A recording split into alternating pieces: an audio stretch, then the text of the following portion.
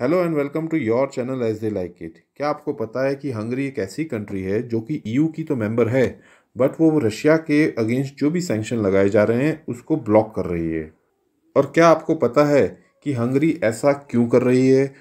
आइए जानते हैं ये कंप्लीट टॉपिक हंगरी जो है, वो रशियन ऑयल और गैस पर कम्प्लीटली डिपेंडेंट है और उसका कहना है कि ईयू ऑयल बॉयकॉट को सपोर्ट करना is like an atomic bomb for its economy जो कि डिस्ट्रॉय कर देगा हंगरी की स्टेबल एनर्जी सप्लाईज को।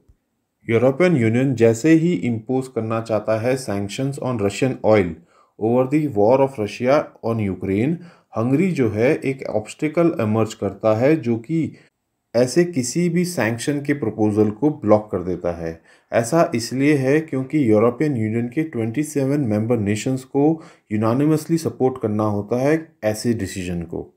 यूरोपियन यूनियन ने हाल ही में प्रपोज किया था कि रशियन क्रूड ऑयल का इंपोर्ट धीरे धीरे करके छः महीने में फ़ेज़ आउट कर दिया जाएगा और रिफाइंड प्रोडक्ट्स का by the end of the year ताकि यूरोप की रशियन फॉसिल फ्यूल्स पे डिपेंडेंस जो है कट ऑफ़ हो जाए और इससे रशिया की जो लुक्रेटिव इनकम है, वो स्टॉप हो जाए। लेकिन हंगरी की नेशनलिस्ट गवर्नमेंट का कहना है जो कि वैसे भी मॉस्को के काफ़ी करीब मानी जाती है कि कोई भी ऐसा सैंक्शन जो होगा, उसको वो सपोर्ट नहीं करेगी। हंगरी ने कहा है कि कोई भी ईयू सैंक्शन प्रपोजल जो कि इंक्लूड करेगा रशियन एनर्जी को भी it will be treated as a red line और हंगरी जो है, उसको अपोज करेगा। ऐसा इसलिए है क्योंकि हंगरी जो है, वो 85 percent of its natural gas and 60 percent of its oil के लिए डिपेंडेंट है रशिया पर। यहाँ पे ये भी जान लें कि थोड़े समय पहले यूरोपियन यूनियन ने रशियन कोल पर भी सैंक्शंस लगाए थे, जिसको हंगरी ने रिलेक्टेंटली सपोर्ट करा था और उसका कहना था सैंक्शंस ऑन कोल जो हैं, वो उसकी इकॉनमी को इफ़ेक्ट नहीं करते हैं।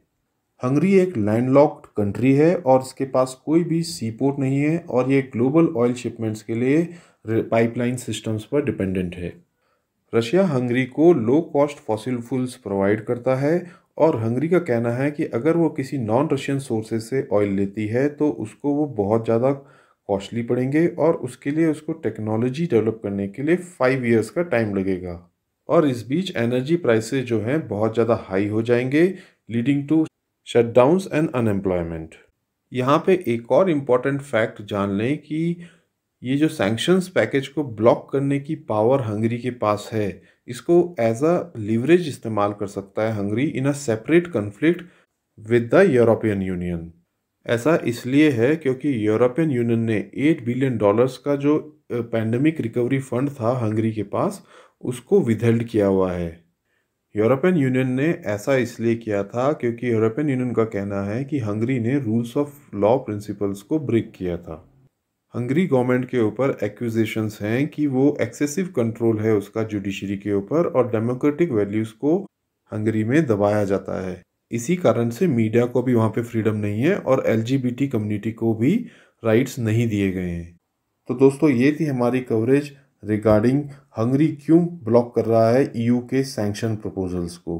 अगर आपको ये वीडियो पसंद आई हो तो हमारे चैनल को लाइक एंड सब्सक्राइब करें। वहीं इंस्टाग्राम और टेलीग्राम से जुड़ें for free PDF and free notes. Thank you.